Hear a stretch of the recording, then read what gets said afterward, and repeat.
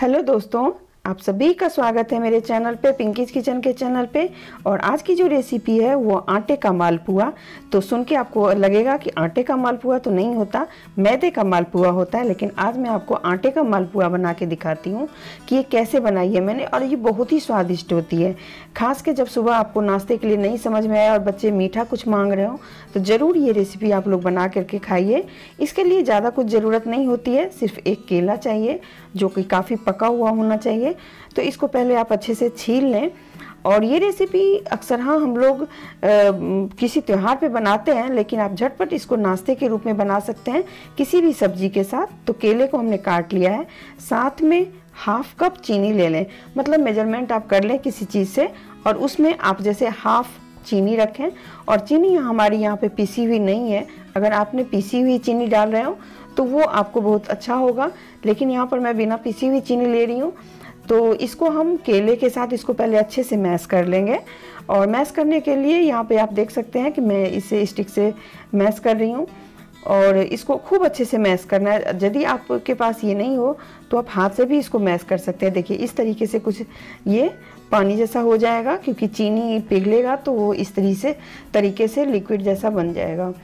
तो खूब अच्छे से मिलाएँ। चीनी जब तक घुल नहीं जाएगी, तब तक आप इसको आगे नहीं कुछ कर सकते। अब इसमें हम डालेंगे हाफ़ कप दूध, जो कि थोड़ा सा गर्म है।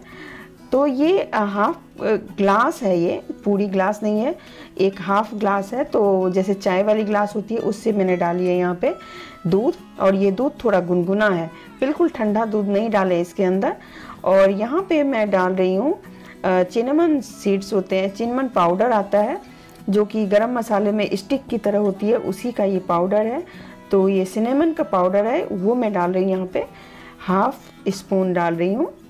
तो चलिए यहाँ पे इन सबको हम मिला करके रख लेंगे थोड़ी देर के लिए, पर मिलाने के लिए आपको अच्छे से इसको मिलाना पड़ेगा। और ये जो पाउडर है, वो अच्छे से घुलता नहीं है तो आप इसको थोड़ी देर छोड़ देंगे तो ये फिर अपने आप हो जाएगा। तो इसको थोड़ी देर तक के लिए छोड़ेंगे, जब तक ये चीनी अच्छे से घुल नहीं जाए। तो देखिए अब हमारा चीनी बिल्कुल ही घुल गया है। इसको हम कम से कम 10-15 मिनट के लिए छोड़ देंगे तो चीनी अच्छे से घुल जाएगा। अब इसके अंदर हम डालेंगे आटा और आटा हम यहाँ पे दो कप डालेंगे। तो दो कप से थोड़ा सा कम मैंने यहाँ पे डाला है तो इस आटे को अब इसके अंदर हम मिक्स कर लेंगे अच्छे से। मैंने एक और रेसिपी बनाई है बनाना पूरी। तो बनाना पूरी का लिंक मैं नीचे डिस्क्रिप्शन में दे दूँगी। आप लोग ज़रूर उसको देखिएगा।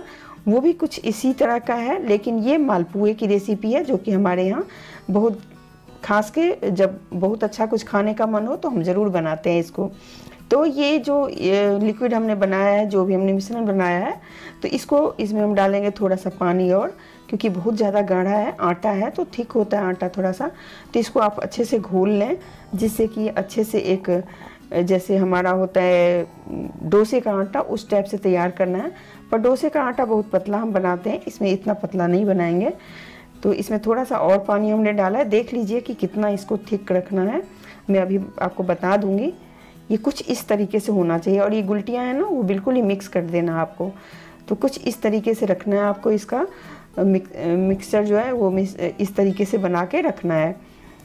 तो यहाँ पर मैंने एक कढ़ाई को गर्म करने के लिए चढ़ाया हुआ है और उसमें डाला हुआ है ऑयल कुकिंग ऑयल है ये सरसों का तेल नहीं है कुकिंग ऑयल है।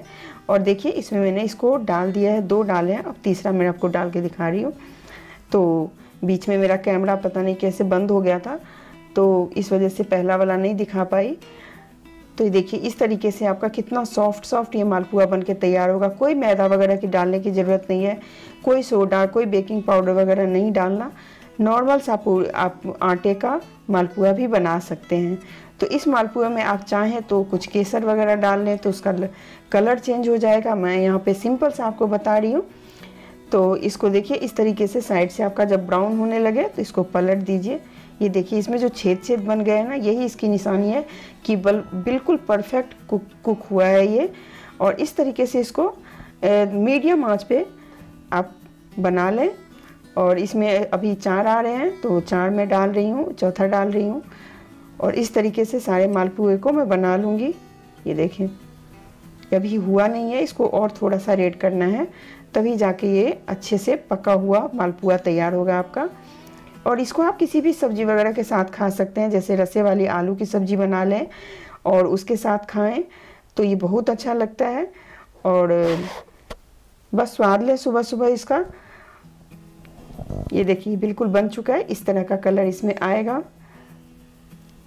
और अगर आपको मेरा ये चैनल, आपको रहना है यहाँ पे तो ज़रूर सब्सक्राइब कर लीजिए, चैनल पे जाके पिंकीज किचन पे जाके, और लाइक कीजिए, यदि वीडियो पसंद आता है तो शेयर कीजिए कमेंट कीजिए और बेल आइकन को दबाना मत भूलिए क्योंकि बेल आइकन दबाएँगे तभी हमारा जो चैनल का कोई भी रेसिपी बनता है तो उसका नोटिफिकेशन आप तक पहुँचेगा।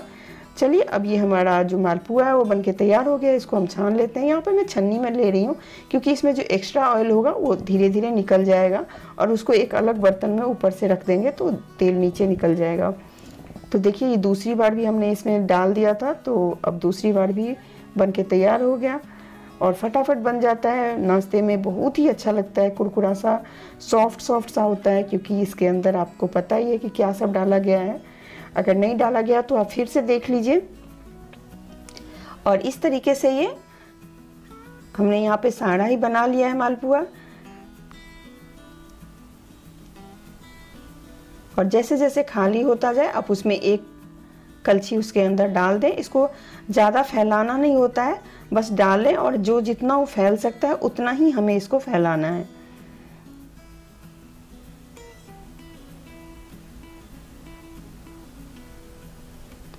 कई बार लोग कहते हैं कि मालपुआ हमारा चिपक गया और ढंग से बनता नहीं है। तो उसके लिए यही है कि आप एकदम गर्म दूध को ना यूज़ करें, ना गर्म पानी तो उससे अच्छा बनेगा। तो यहाँ पर देखिए मैंने छन्नी में डाला था और नीचे एक बर्तन लगा दिया था। अगर एक्स्ट्रा ऑयल होगा तो नीचे चला जाएगा। और ये बहुत गर्म है तो मैं इसको छू नहीं पा रही हूँ। तो आप लोग इन्जॉय कीजिए इस रेसिपी का। मैं और भी अच्छे अच्छे रेसिपीज़ लेके आऊँगी। अगर अच्छा लगे तो प्लीज़ प्लीज़ शेयर कर दीजिए इसको। मिलते हैं फिर किसी